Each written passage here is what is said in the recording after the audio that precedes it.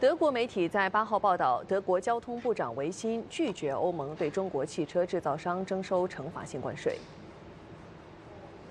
德国《时代周报》报号称，欧盟目前正在对中国生产的电动汽车进行反补贴调查，并考虑征收惩罚性关税。对此，德国交通部长维辛在接受采访时表示，德国政府希望德国企业继续在本土创造附加值，并在全球贸易中保持竞争力。德国希望国际贸易在公平和统一的竞争环境中进行，而不是通过惩罚性关税进行贸易战。维辛认为，这对向德国严重依赖全球贸易的国家来说至关重要。德国为全世界生产，希望未来继续这样做。就产品质量而言，德国在国际上处于领先地位。欧盟委员会主席冯德莱恩去年九月宣布，对中国补贴造成的市场竞争扭曲展开调查。如果调查显示中国违反贸易法，欧盟可能征收惩罚性关税。欧盟目前对电动汽车征收百分之十的关税。